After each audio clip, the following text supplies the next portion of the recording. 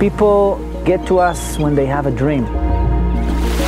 The sun going up, the sun going down, and me, still me, enjoying the moment. This is the best of the life. I try to do something else, but it doesn't work. I here and I love it.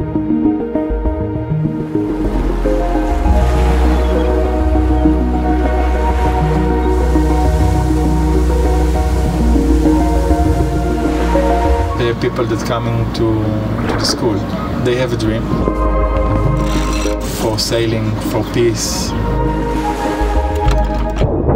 for quiet, and we are teaching them and allow it to be.